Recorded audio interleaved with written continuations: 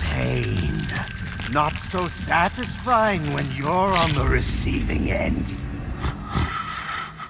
Now you will know darkness, brother.